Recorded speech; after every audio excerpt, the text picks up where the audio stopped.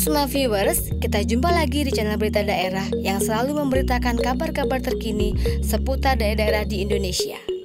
Kali ini kita akan bahas destinasi wisata yang unik dan kreatif di daerah Banten yang pastinya sangat menarik untuk kita saksikan videonya.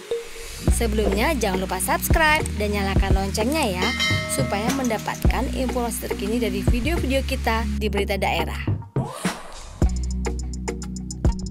Kabupaten Serang yang berada di Provinsi Banten memiliki banyak lokasi wisata yang bisa kita eksplorasi. Salah satunya ada tempat produksi batu fosil kerajinan yang memiliki nilai seni yang tinggi.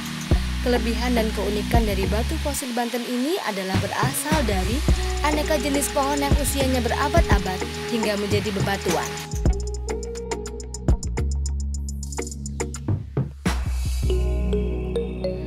Fosil pohon yang membatu ini kemudian diolah menjadi kerajinan bernilai tinggi dan kita banyak menemukannya di daerah Cikande, sebuah daerah di ujung barat Pulau Jawa yang masih dalam teritorial Kabupaten Serang.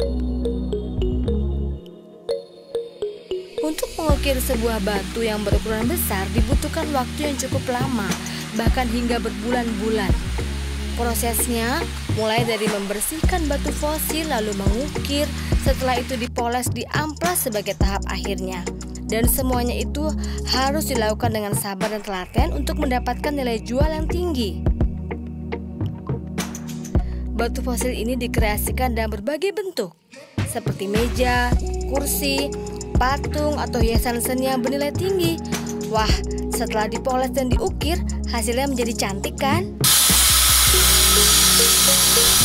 Ini permintaan fosil untuk pasar mancanegara terus meningkat loh.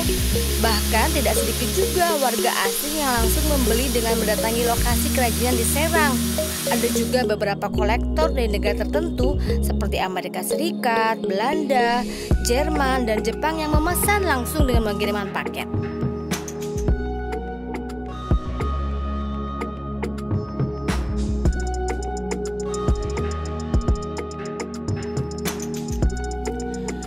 Karena permintaan pasar dunia terus meningkat, maka para pengrajin batu fosil ini terus memproduksi hasil kreasi memiliki nilai seni yang sangat tinggi. Ini suatu kebanggaan loh kalau kita memiliki produk-produk dalam negeri yang semakin mendunia. Sampai jumpa dan video-video berita daerah lainnya.